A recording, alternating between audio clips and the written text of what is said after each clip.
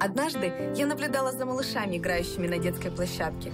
Это были маленькие копии своих родителей. Они говорили взрослыми фразами, красили губы, как их мамы, и ездили на машинах, как папы.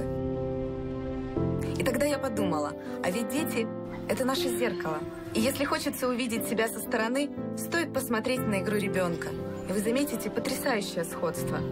Наши маленькие копии нуждаются в заботе и тепле точно так же, как и мы с вами. Мои гости считают, что ребенка стоит почаще прижимать к сердцу с первых дней жизни.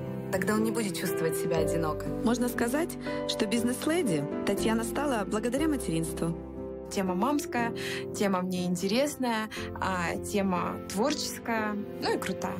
Когда у нас родилась э, дочка, где-то в шестимесячном возрасте, у нас э, возникла потребность э, в слинге, поскольку у нас машины не было. Хотелось передвигаться активно по городу, хотелось встречаться с подружками. Торговый центр погулять, а не тащиться с коляской. Это все еще зимой было, очень тяжело с коляской. У нас были нечищенные тротуары. И стал вопрос о классной переноске. Видели на улицах так называемый там эрго-рюкзак или слинг-рюкзак. Это гибрид слинга стандартного, там, когда это отрез ткани длинный, и рюкзака кенгуру. Вариантов было немного, и когда мы купили эту вещь, она оказалась действительно здоровская, полезная и отслужила нам больше двух лет. Ну и сразу возникла идея, как это нам моментально вот пришла, буквально там через полдня после покупки, о том, что э, интересно, сколько это стоит себестоимости. И, и если такой маленький выбор на рынке, то почему бы там не начать заниматься и, и не производить такое? Недолго думая, Татьяна с мужем нашли производство в Китае и отправили туда все свои свадебные сбережения. Это и было стартовым капиталом. Рисковали и страшно.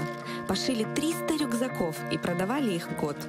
Еще не потратили наши там подаренные на свадьбу деньги, плюс, плюс мы откладывали, там постепенно хотели там машину купить. Первые два года мы работали с, э, с китайской фабрикой, и после этого мы поняли, что надо что-то менять, э, и начали искать производство в Украине. Забота о детях, и не только своих, стала частью жизни Тани и Леши. Важно только вложить в дело душу, и другие это почувствуют.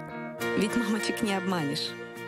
А, мы отживаем специально продукцию, раздаем ребятам, молодым мамам, чтобы они могли протестировать и э, сформулировать свое мнение. Мы делаем продукт для себя. И это правда, потому что первыми тестерами нашей продукции, всех наших слингов, являются наши детки. Работать на себя — это здорово. Когда ты создаешь что-то сам, возникает э, продукт, который нравится другим, который получает хорошие отзывы, это очень вдохновляет. И приносит больше удовольствия, чем если ты делаешь какую-то техническую работу э, для кого-то. Мне кажется, что каждый человек должен быть на своем месте, я сейчас на своем.